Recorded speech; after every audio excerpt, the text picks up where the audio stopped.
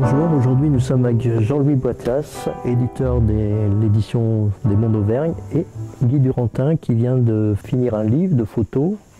Donc tu peux nous présenter un peu ce livre? Oui, bien, en collaboration très très étroite avec Jean-Louis, parce que sans lui, le livre n'aurait pas vu le jour, sans, et sans moi, euh, Jean-Louis n'aurait pas pu le faire paraître, donc ce sont nos efforts qui sont euh, conjugués. Tu peux nous dire euh, un petit peu rapidement ton parcours euh, professionnel? Mon parcours professionnel est tout simple. J'étais ouvrier verrier à Puy-Guillaume et euh, arrivé à la retraite, alors j'avais fait plus ou moins de photos un peu de- depuis l'adolescence. Arrivé à la retraite, j'ai acheté un bon matériel et je, je m'y suis mis plus assidûment. Jusqu'au jour où j'ai eu envie de savoir si mes photos avaient une quelconque valeur.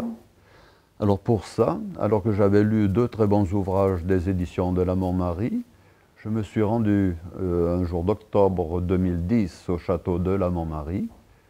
Et puis j'ai été très bien accueilli par Madame Françoise Chapuis, qui m'a dit, mais voilà, les éditions de la Montmarie n'existent plus, elles sont remplacées maintenant par les éditions des Monts d'Auvergne à Champétière.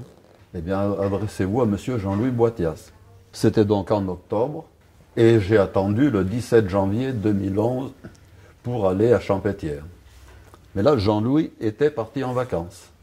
Et euh, la secrétaire m'a dit, euh, il revient de vacances dans 15 jours, rappelé dans 15 jours. Cette dame m'avait inspiré confiance, j'avais donc laissé la, la clé USB. Et finalement, début mars, je me suis enfin décidé à contacter Jean-Louis. Et il m'a dit, enfin, monsieur Durantin, ça fait longtemps j'attendais votre coup de fil. Il faut qu'on se voit au plus vite. Je suis donc monté à Champétière, et Jean-Louis m'a serré la main, et de l'autre main, il m'a tendu un bouquin. Grande surprise, c'était une photo de couverture que je venais de faire. J'aurais jamais espéré ça de ma vie. Et un jour, Jean-Louis m'a confié un projet absolument fou. C'est qu'il m'avait dit, toute ma vie, j'ai souhaité faire des, photos de la région euh, Livradois, voire Livradois-Forêt. Est-ce que tu serais partant? Et ben, j'ai dit oui. Je ne savais pas où j'allais. Et je suis parti. Je suis parti. J'ai débuté mes tournées le 9 mars euh, 2011. C'était la première des 319 tournées. Euh, tout ça s'est étalé sur 5 ans et 7 mois, euh, pour un total de 52 000 km parcourus et euh, une moisson de, photos concernant 246 communes, toutes liées depuis quasiment les portes du Puy jusqu'à Montbrison, jusqu'aux portes de Boin, porte Vic-le-Comte, porte d'Issoire. Voilà, nous avons resserré tout ce territoire dans ces 246 communes. Et l'ouvrage est paru il y a une quinzaine de jours. Donc euh, Jean-Louis, quand tu as vu les premières photos de, de Guy, euh, comment J'étais tout de suite emballé parce que c'était des photos de qualité, bien qu'il s'en défende. euh, elles- elles- bon, il s'est amélioré depuis, selon ses propres termes, mais je les ai trouvées d'emblée euh, très bonnes, très, très, très intéressantes.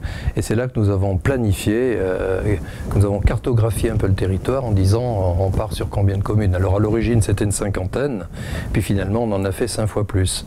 On a fait en sorte de couvrir les monts du Livradois dans leur entier, toute la vallée de la Dore, comme le disait euh, Guy, depuis grosso modo la Chaise-Dieu jusqu'à Puy-Guillaume, et tous les monts du Forêt, avec les deux retombées des montagnes, côté Dore, côté Loire et côté Allier.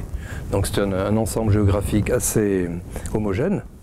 Et euh, on a réparti les photos dans, entre ces 246 communes. Alors il y a des petites communes où il y a très peu de choses à dire, ou très peu à photographier, mais on a- elles ont quand même eu leur page ou leur demi-page.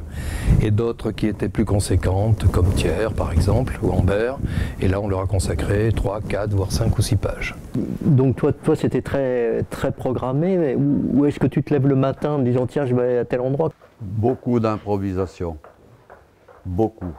Euh, C'est-à-dire que plus j'ai tourné, ben, plus j'ai écarté mon cercle. euh, voilà.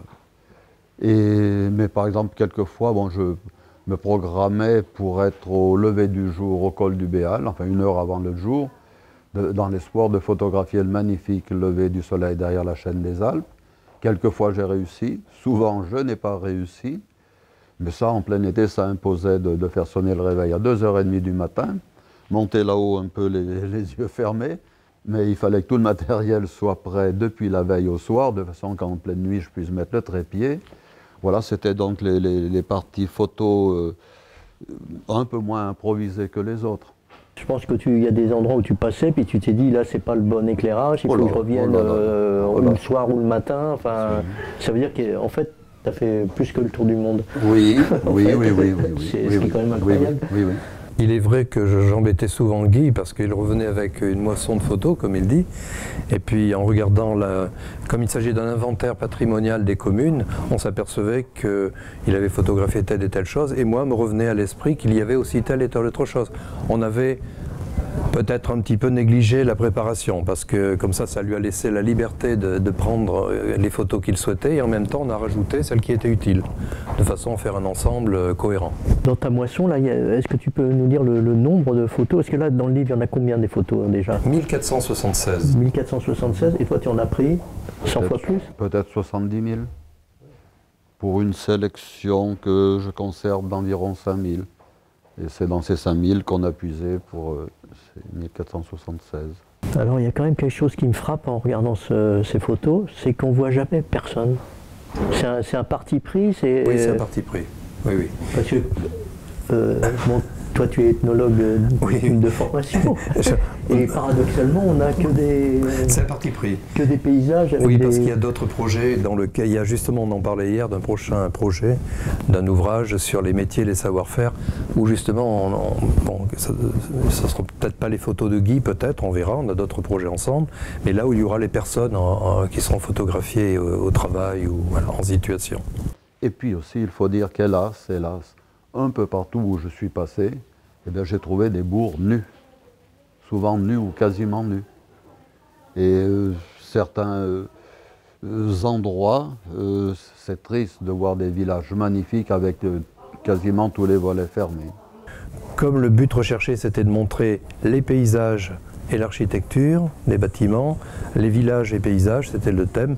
Bon, moi j'ai fait le montage sans m'inquiéter justement de ne pas voir de personnes. C'était c'était un parti pris en fait.